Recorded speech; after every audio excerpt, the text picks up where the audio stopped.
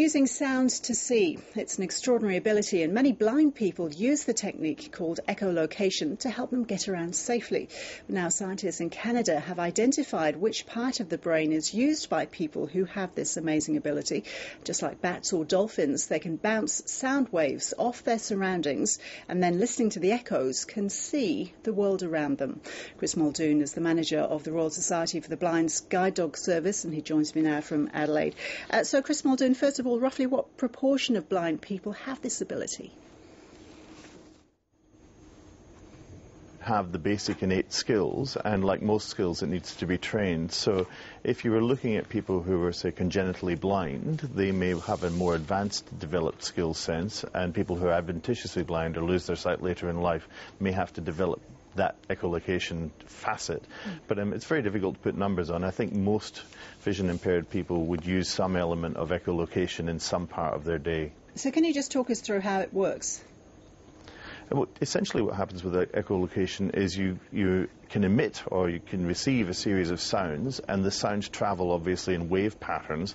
And when they hit an object or a solid object, they'll actually reflect back to you. And depending on how far away you are from the object or how close you are to the object, would give you some sense of space and size around you, and, and also give you a sense of awareness about the environment. So it's it's quite a, a, a well-developed skill, um, in so much that if you use it constantly, you will develop that skill even more. But anybody can be taught it, is that right?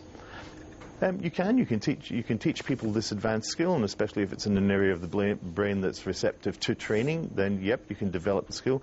It, it may not be for everyone because for some people, uh, the additional skills training takes a lot of effort and a lot of um, application, and it can be done in conjunction with a mobility aid. So, for example, if the person is using a long cane, you could tap the long cane on the ground and use the sound waves from the long cane to pick up the size of the room you're in, or to pick up the size of the environment or even to what we call shoreline, to move along the side of a wall that would give you the sense of space and size of the wall next year. It's, it's a very useful skill.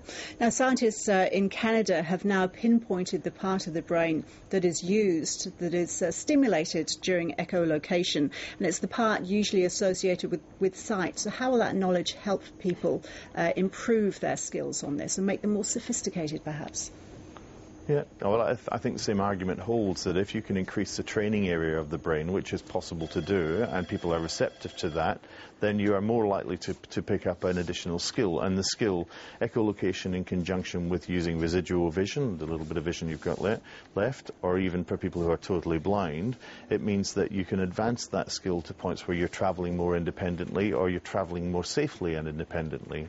It's a, it's, it's a, it's a skill that's been around for a long time, but, but as it develops, clients develop or, or people who are blind or vision impaired develop the additional skills, which means they, they're safer. And safety is, is paramount when you're travelling without sight. Chris Muldoon, thank you.